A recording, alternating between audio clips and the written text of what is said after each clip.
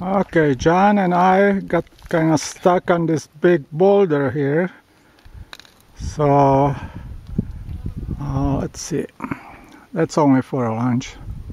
Steve is someplace over there. Uh, Hirsch and Chuck, I think they are at the top.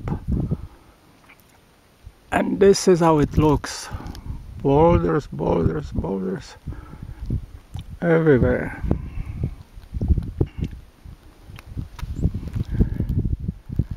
And wheat is someplace down there.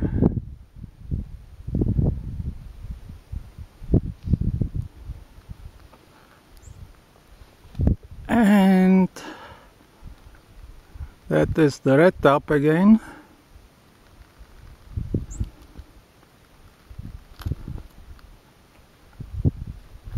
Rocks everywhere